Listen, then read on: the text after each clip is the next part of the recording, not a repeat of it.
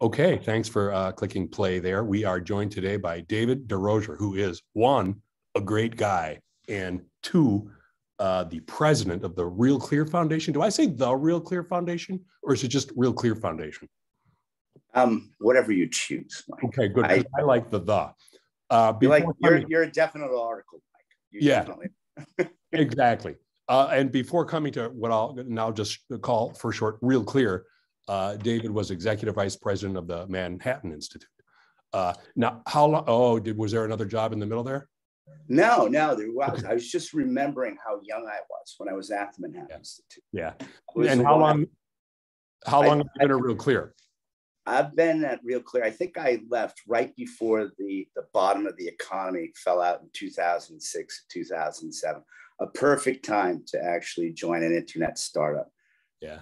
Yeah. yeah. So where is home, David? I mean, home physically right now is uh, Palm Beach, uh, Florida. Where were you uh, born? Where was home originally? Oh, Worcester, Massachusetts. Oh, that's right. Okay. And, I mean, and if your viewers have any any difficulties with me, it's primarily for, from the place of my origin. I've done my best since then, but I do how love the place. How does a Worcesterite end up at the Manhattan Institute and then uh, Real Clear? A great teacher, a great teacher. Um, you know, I, if I had to describe myself kind of growing up, I would, I was a rebel without a clue. Right. And I, I just happened to actually go to a small Catholic great book school, Assumption College. I think it's called Assumption University now, so we can get the branding right. Now, are you and, putting the quotes around Assumption or University, or both? Well, you, could, in principle, you could do both, but no. Uh, unlike most places, uh, I, I, you, if you went to Assumption at the time that I went to and you studied with the teachers that I had, you received probably one of the best liberal arts educations in America. So I would say that the reason I am who I am, I'm where I am, is the is the byproduct of a few teachers, one in particular. Right. I just came of age there. It kind of opened my mind. And because of that, I'm where I am. I think you should feel free to name that teacher. Uh, oh, oh, the teacher's name is uh, uh, Dan Mahoney, and I, I, think you know. He, and again, if you want to talk about one of the problems of higher education, is that it took somebody who should have been at the top of the food chain teaching elsewhere, and it and it put it in my hometown of Worcester, Massachusetts, and this guy is was is, is still remains, I think, one of the standout political scientists of of his generation, and and I hope for this moment, yeah, yeah. because we're hired. yeah, yeah.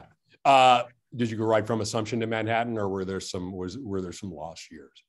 Oh no, oh definitely there was some beautiful lost years. I mean, one of them, I, you know, it, you know, so you graduate, you know, from college thinking that's the only education one ought to get or deserve, and then he threw me off to graduate school where I got my PhD in political science at Fordham University. Uh, okay. Okay. Yeah. Uh, and then Manhattan and then Real Clear. Oh, no, there was one other place in between there. Um, so uh, there was also a, a, there's a think tank called the Claremont Institute. I don't know if you know anything about that. Yeah. Yeah. So uh, they have this uh, fellowship program right? You know, called the Publius Fellows uh, program. At that time, they have a number of programs, and you know what they try to do is, you know, they're intellectual stock pickers. They they look at people who are out there that are publicly spirited, talented, want to do something, you know, for the sake of their country, and then they bring them out and give them a little bit of a finishing school right you know and and while i was at one of those finishing school the then president of the place larry Arnn, offered me my first job which is a very good thing to get, particularly when you asked a woman to marry you and you were not yet employed. Mm-hmm. So I worked for two years at the Claremont Institute before uh, making my way back uh, to New York and working at uh, the Manhattan Institute, where I, I did, I, I, think, a solid decade of time there.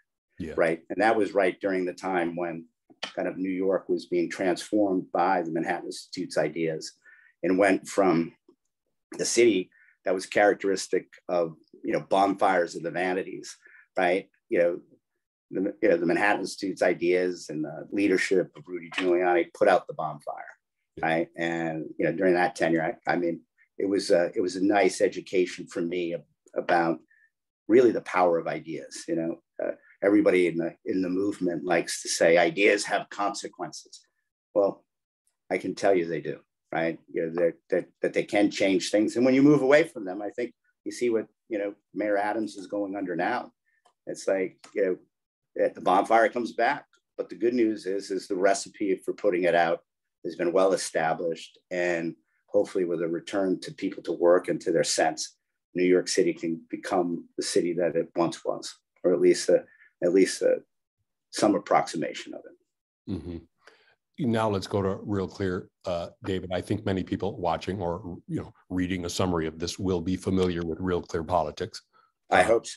real clear is in fact a suite of sites which we may discuss uh, in a minute i suppose i should disclose that on one of those uh, uh one fee, there's a real clear policy that's part of real clear politics and i help curate uh, the philanthropy and giving section of real clear policy so i just want to mention that uh, but then tell me. But as an absentee landlord, Mike, are you doing a good job? I am doing a great job. I'm giving myself a 10 out of 10 and A plus. Uh, All right. Then there's a real clear foundation. What is the relationship between uh, the foundation and, and, and real clear politics? What, what, what does it do and how? I mean, the reason why I left the Manhattan Institute and went over to Real Clear is because, you know, the Real Clear built something that everybody who was talking about the future of the internet said wasn't possible.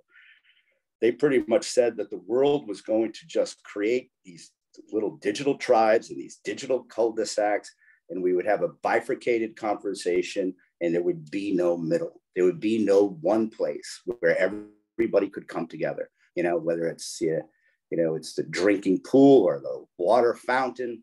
You know, you can go Serengeti or to the office, but it was just it was not going to be a shared place where people, you know, could could kind of go and see what other people were saying. And you know, I had when I first recognized uh, Real Clear Politics, you know, they kind of came out in 2000. You know, I joined them later in 2006. I can't call myself an early adopter in terms of employee, but it's like I, I, I looked at the site and I just was you know, they created a conversation where prior to their existence, there was a, a monologue. So they made a dialogue where there was a monologue. And as a person who, who thought that the only way that a free people remains free is by having a conversation, you know, I wanted to be there, right? Um, and I kind of discovered real clear, you know, quite accidentally, where one of my colleagues at the Manhattan Institute, Brian Anderson, who's the publisher of uh, City Journal, a must read and must support for all philanthropists out there. He, uh, he had a book called The New New Media, which now after 16, you know, after 16 years later, it's kind of, I feel kind of old. And I think the media feels a little bit older. But it was just, it talked about this place real clear. And I had a dinner for uh, Brian to promote his book, and I brought John McIntyre, one of the founders of it. And then, you know, after that, we had a drink. And then, you know, shortly thereafter, you know i was going to something that i thought was such a public good you know so i i mean my own approach uh, you know my own attachment and my kind of movement towards there is i saw something that wasn't supposed to exist a unicorn.